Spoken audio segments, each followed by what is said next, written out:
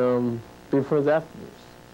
You know what I mean? And if that's what he wants. For some reason, he's been challenging me for the last couple of years. I don't know why. I haven't done nothing to the guy. But I guess, you know, if a guy feels they can beat me, I give him the challenge. You know, this way, when he sees he can't, then he, he can say, well, I tried and I, I couldn't do it. Well, Davis versus McGirt, something to think about, but tonight it's Davis versus Edwin Curet, and there's the Superman making his way into the ring, led by co-managers Billy Giles and Tumbler Davis. Superman 34 and 1. He's had a couple of wins since the loss to Meldrick Taylor and the loss of the WBA welterweight title. There's Edwin Curet comes off the upset win over Glenwood, the Real Beast Brown. A split decision, decision victory at the Paramount on September 17. He has been around for 14 years as a pro.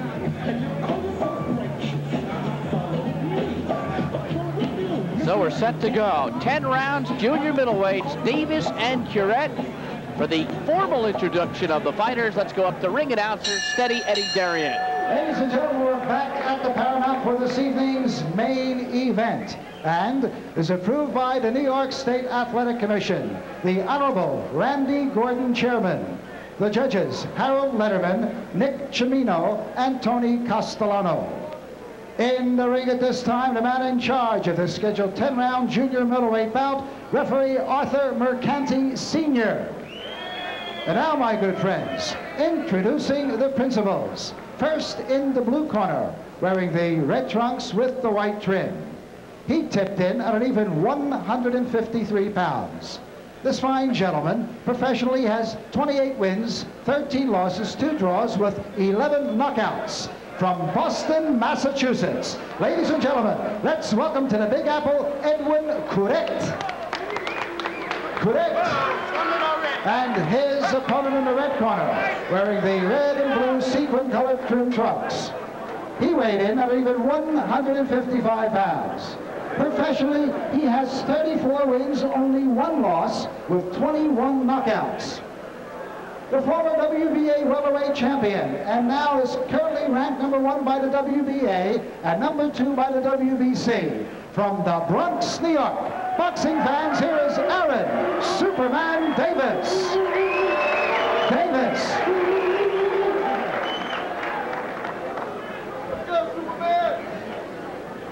Gentlemen, you both know the rules of the New York State Athletic Commission. You obey these rules and I'll enforce them. Shake hands now. Good luck to both of you. And the rules are scoring done in a 10-point must system, standing eight count in effect, three knockdown rule in effect. A fighter cannot be saved by the bell in any round. Here we go, schedule for 10. Superman Davis in the sequin red trunks and Curet in the straight red trunks with the white trim. And Curet comes winging out of his corner.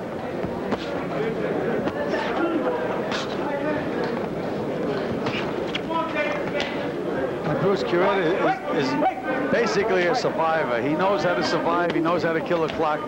But if you, he's really cute. Uh, unless you keep busy and keep on this guy, he can steal rounds because he'll look like he's going to do nothing, and then all of a sudden he'll throw a little flurry, and it may be enough to win a round. Well, the other question in this fight is what about the motivation of Davis, who seems to get up for the bigger fights a lot more than he does some of the others? Well, I, I think he realizes how important this is to him because he's in a position uh, where he's going to have to get a world title shot, politics or not, if, again, if he wins this fight. And that would be against Julio Cesar Vasquez of Argentina. And I think that uh, Edwin Curet must have uh, looked at a film of Davis's fight with Cummings because in the first minute of the fight, uh, Davis was nailed and looked like he was in serious trouble. And again, Curet came out winging punches, which is not his style. And there's a solid left by Curet, a little bit of an uppercut. You're going to see a lot of uppercuts because he's four inches smaller than Davis. Davis is seven years younger than Curet. Davis's last fight, October 15th, the TKO 7 win over Craig Cummings. Curet's last fight, as we mentioned, September 17th.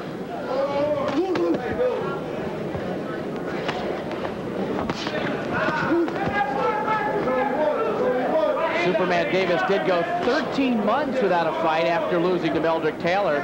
Remember, he suffered a serious thumb injury in that fight in the second round. So it took him a while to get that injury together. He pulled a little bit of a Rip Van Winkle for a while. No one knew if he was motivated. Now he's had two fights since then. Well, again, we, we hope he's back in the groove because he has the talent to become world champion again. And he's still young. Good left hand by Superman Davis. Backing Curet up on that one. I don't think that was as, as an effective punch as it looked, Bruce. I think that Curet's uh, feet got tangled in the canvas a little bit.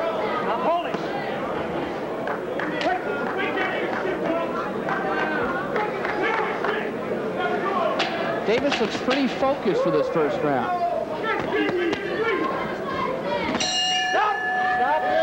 And the first one is in the books as we go to the corner of Aaron Davis. His dad, Tumbler Davis, and Billy Giles at the controls. Double up, double up. Don't wing your right hand. Wing your right hand if you use the jab. Him, use the right hand if you use the jab. You cover it up. He's looking to cover. Lift the body a little harder. A little harder, all right? You still looking at A little harder. A little more jabs. All right? Don't get away from your jab. Look a little hard. Now open up your hook in your right hand. On the other side, Where's the bucket? Joe Lake, manager trainer of Edwin Curet. Take some deep breaths. Take some deep Ah, that boy. Come on, one more. Keep your hands up. That's all. See what he's throwing. Gil, let's take a look at that punch. Let's, let's take a look at exactly what happened. Well, they got nailed pretty, pretty good, uh, Bruce, but his feet were not in a proper position. Second round, scheduled for 10.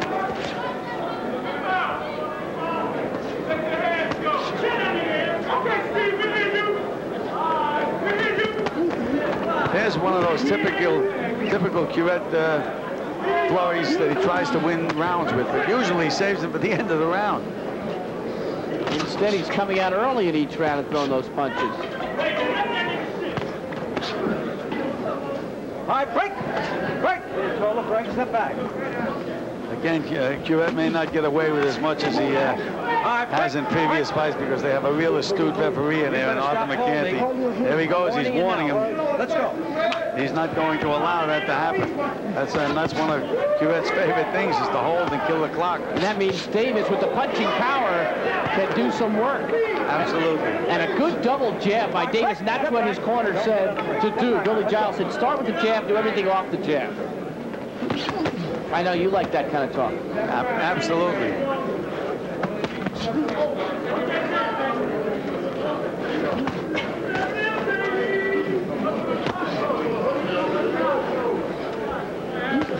Besides the obvious height advantage, Davis just looks like the bigger, stronger, more physical guy. Well, Curet uh, fought most of his career as a 139, 135 pounder. So this is really not a natural weight for him. All right, break. Stop heading on the break. Let's go. This is Davis's third fight as a junior middleweight. And he says he's comfortable here at 154. Said he was a 147 pounder for too many years. Davis hit Curet low, and Curet hit him low right back. One for one. And a warning to Curet from Mercante to watch the low blows, not to Davis. Davis chopping away at the body.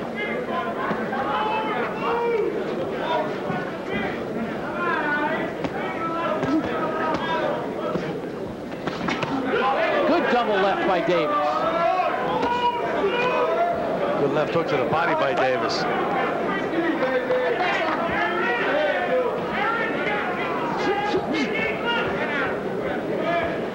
Thirty seconds in the second.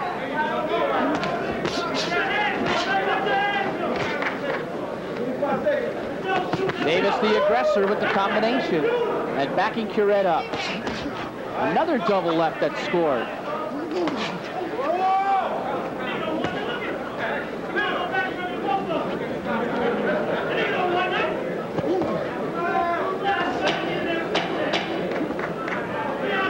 Strong round for Davis. Something to drink, sir? Uh, yeah.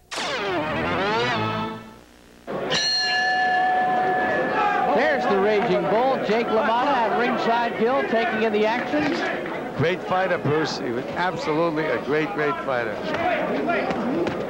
And well liked also. You know, a lot of people thought that Jake LaMotta was just a brawler, but believe me, he could box.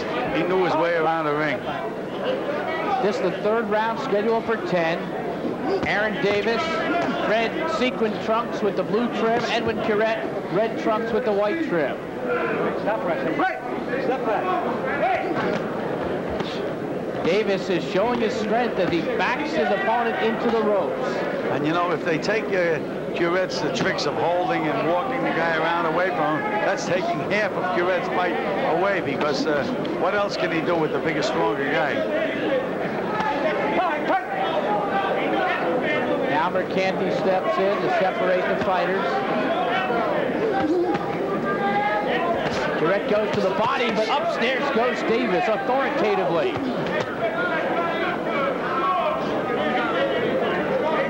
And Davis just looked so much bigger and stronger than Curet. Davis looks extremely focused. He has been efficient in this fight. And he's doubling up with the jab, and down goes Curet. Mercante sends him to a neutral corner. And it's been the doubling up of Davis's punches that has been effective.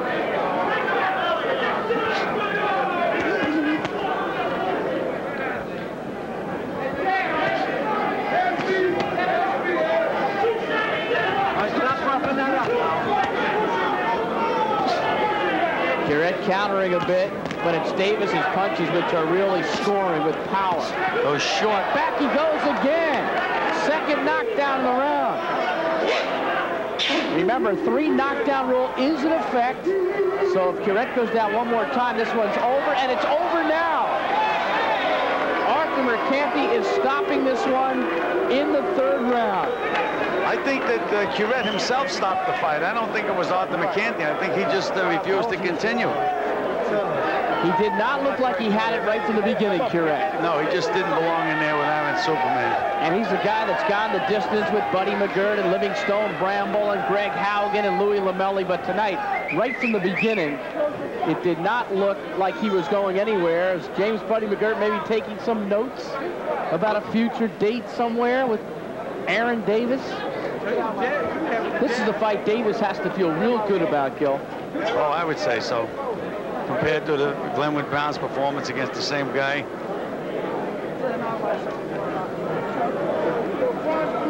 Davis would appear to have a date with Julio Cesar Vasquez of Argentina. Here's the first knockdown. Just a couple of jabs. Here's the second one, Gil.